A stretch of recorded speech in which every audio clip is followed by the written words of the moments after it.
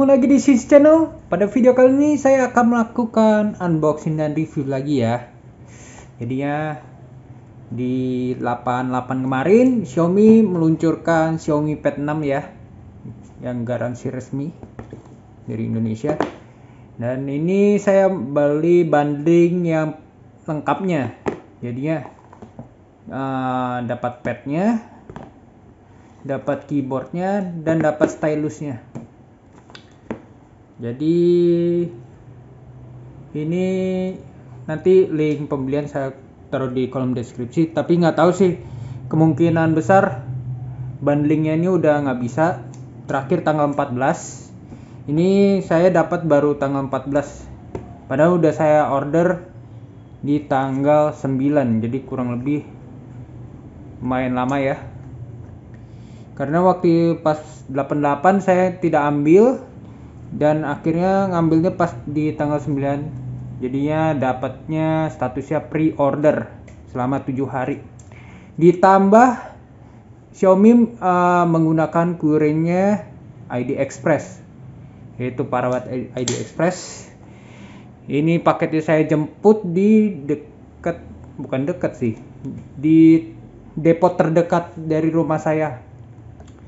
Kurang lebih sekitar 5 kilo dari rumah saya langsung aja ini uh, stylus smart pen. Ini yang generasi keduanya ya. Nah ini memakai bluetooth. Ini kalau misalnya beli apa namanya beli ininya doang ini harganya satu juta. Lalu ini uh, keyboardnya. Tipis ya. Pemasangannya seperti ini. Jadinya dia nempel. Pemasangan ini nempel. Ada seperti pin gitu. Nanti kita uh, eh, coba aja. Coba dipasang. Ini ternyata kalau mis padnya ini bukan buatan dari Batam ya dia import langsung dari Cina. Berikut aksesorisnya juga import dari Cina ya. Uh, nih aduh ini Xiaomi Pad 6 saya kebagiannya saya kan ikutnya di Tokopedia. Jadinya cuma dapat yang warna yang graffiti grey ya. Yang birunya habis tapi di Lazada ada. Nah, jadi dapatnya di Tokopedia aja. Nah ini spesifikasinya. Ini wifi only ya. Jadinya nggak ada GSM nggak bisa colok kartu. Jadinya ini spesifikasinya 144 Hz uh, Wiki HD Plus dengan iCare display. Lalu uh, prosesornya ini menggunakan 870 Snapdragon ya flagship prosesor. Terus ini ada speaker. Speakernya ini bukan dua melainkan empat. Di setiap sisi ada speakernya. Lalu baterainya. Baterainya ini 80 eh 80 8840 mAh lalu charge-nya ini 33 watt fast charging ya dan slim uni design jadinya tipis dengan metal finish. Ya. Nah ini bisa dilihat. Di diimport bukan dirakit.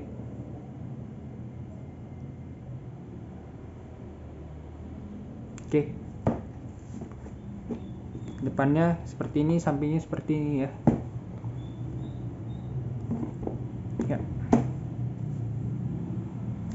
langsung aja kita unboxing. Ya. Oh ya untuk masalah garansi Xiaomi memberikan garansi 12 plus 3 ya jadinya 15 bulan. Untuk Xiaomi Pad 6 langsung aja kita unboxing ya. Unboxing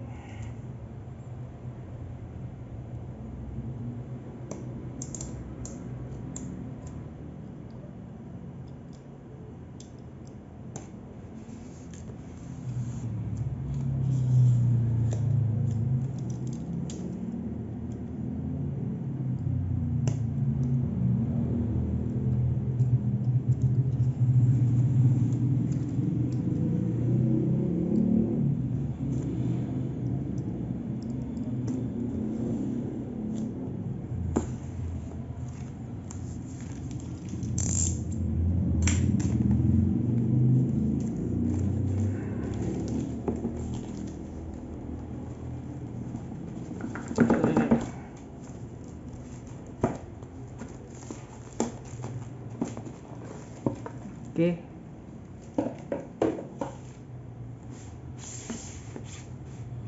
ini pertama-tama seperti biasa lah ya. Dapat ucapan terima kasih dari Xiaomi.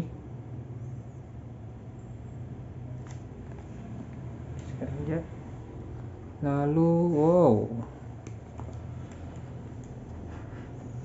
Dia pakai ini ya apa namanya yang kain gitu ya. Apa ya namanya ya? Lupa. Jadi bukan plastik nih di sini mendapatkan ada dua box. Pertama boxnya ini. Seperti biasa. Apa nih? Panduan sama garansi ya. Panduan sama garansi. Oh ini adaptornya ya. Dapat type C. Aduh males bongkarnya dapat type C to type A untuk 33 watt.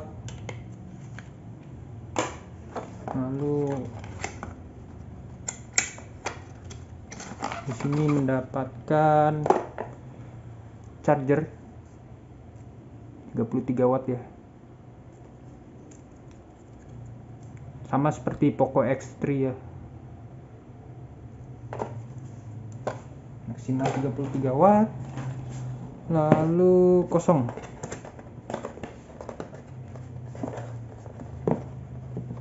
Ya kosong. Ya. Ya kosong. Nggak ada apa-apa lagi.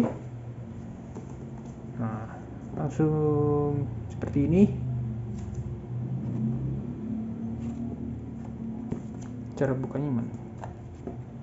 Oh, cara bukanya gini.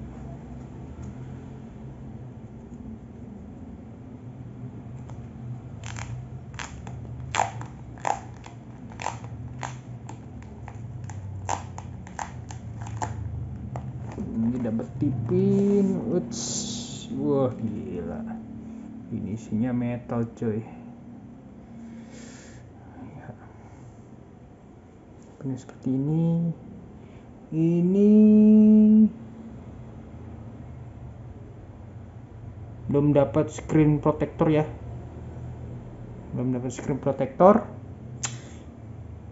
Biasanya udah sih tapi ini nggak dipasangin. Tipe-tipe seperti kayak Poco M3 Pro 5G sama Poco X3 NFC itu ada screen protectornya soalnya ya. Seperti ini. Tampak depannya ya. Jadinya di sini ada webcam. Lalu di sampingnya ini ada speaker. Speaker dua nih dua speaker. Ada tombol powernya di sini. Sama tulisan Dolby Vision Atmos aduh Bentar enggak ah. agak susah Bentar dulu Duh, mantul banget ya. Nah, sisi depan seperti ini. Ada webcam. Sisi sebelah kiri ada speaker. Ada tulisan Dolby Vision Atmos ya. Ini tombol powernya. Sisi sebelah kanan ada port type C mikrofon sama dua speaker lagi ya karena ada empat speaker di bawahnya ini kosong di atasnya ini ada tombol lagi. Ini volume up and down. Lalu ini ini buat stylusnya nih. Buat tempelan stylusnya nanti. Di sisi belakangnya seperti ini. Jadi ada kamera 13 megapiksel ya. Normal lah ya. Untuk sekelas tab sama kamera deep sama ini apa namanya flash dua warna di bawahnya ini. Nah ini buat pin buat pinnya keyboard. Ada tulisan Xiaomi. Oke. Ini cukup gede 11 inch. Langsung aja kita nyalain.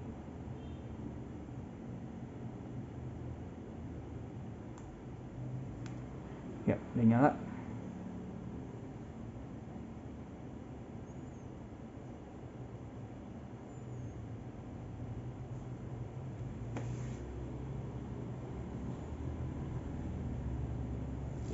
ya ini ditunggu aja.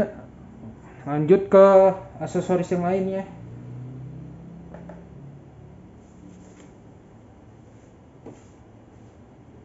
Atau enggak uh, ini itu aksesorisnya nanti unboxingnya videonya berbeda. Jadi ini langsung aja saya settingin seperti biasa Antutu Brain Smart untuk melihat skornya dari Snapdragon 870 ini saya setting dulu selesaiin dulu ya. Ya. Ini udah tadi kan video unboxing dari tabnya dari apa keyboardnya dari stylusnya. Ini pokoknya video apa namanya video keyboard unboxing keyboard sama stylusnya ini di video terpisah saya bikin uh, jadinya ini udah di setting ya. Duh, mana nih?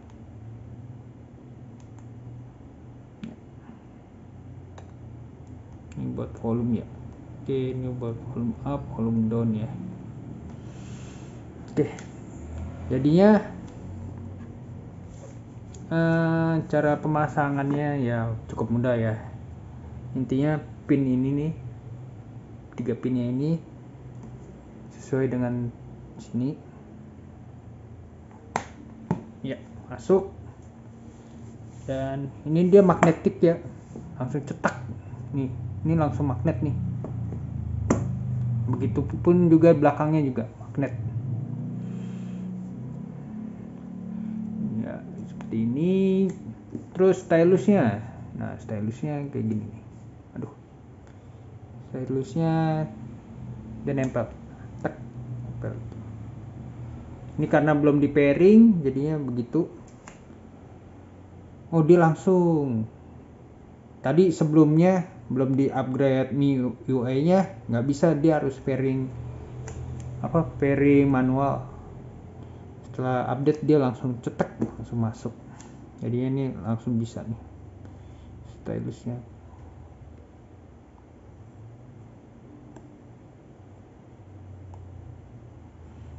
nah misalnya ini. Tombol atas ini buat ganti warnanya nih. Tuh. Lalu tombol bawah itu buat yang ininya nih. nah. Oke. Keyboardnya. Feel keyboardnya coba. Ini di yes coba halo. Aduh. Halo. Berjumpa kembali. Aduh.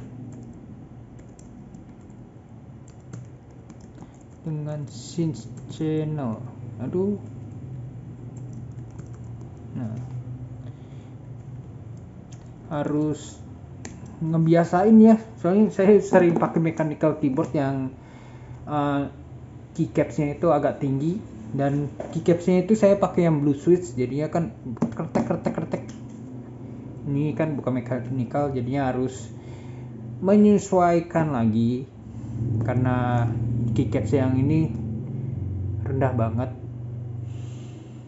Nggak tinggi langsung aja gini dah. Uh, kita tes. Tes apa? Kamera. Jadinya kameranya ini kamera depan eh belakang. Kamera belakangnya ini cek.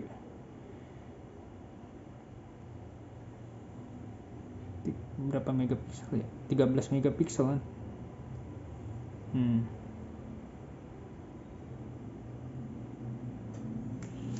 HDR untuk apa namanya untuk kam, uh, video. Video itu bisa sampai 4K 30 fps ya.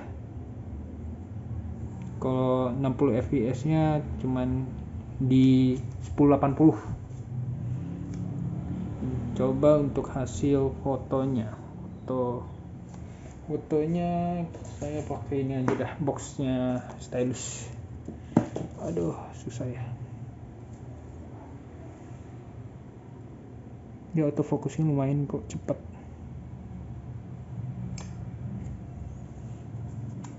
It's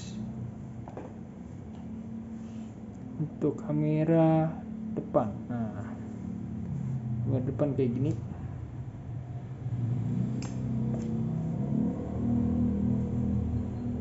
dia apa namanya hmm, lensanya agak cembung ya. Tuh kayak fish eye gitu lensanya. Oke. Okay. uh, habis itu coba Antutu Brand Smart. Nah Antutu Brand Smart ini penting karena kita mau mengetahui kecepatan dari prosesornya nah, sebelumnya dihapusin dulu nih. Clear off dulu.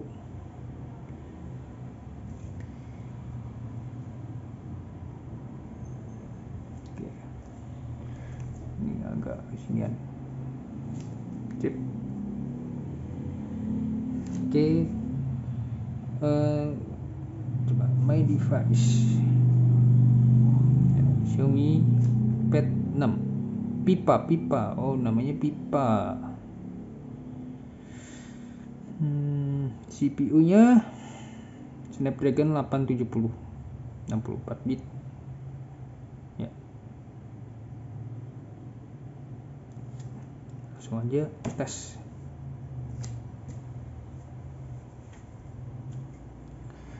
Ini nanti saya percepat ya seperti biasa. Saya percepat pasti untuk tes antutunya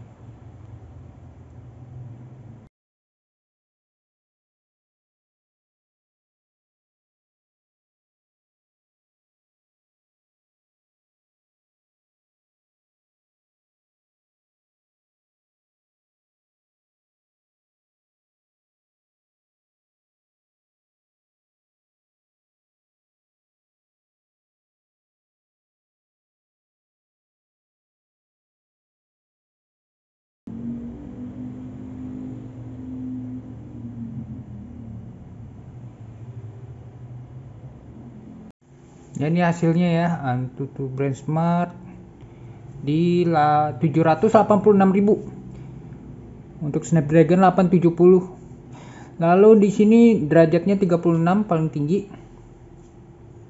Dan ya itu aja sih untuk pengetesan Antutu. Jadi untuk video kali ini kesimpulannya untuk Xiaomi Pad 6 cukup worth ketika anda belinya bundling ya. Jadi untuk produktivitas bisa buat gambar, stylusnya, keyboardnya bisa buat ngetik. Jadinya peganti laptop. Tapi kalau laptop kan agak ribet ya. Tidak bisa ibaratnya tidak bisa standby 24 jam.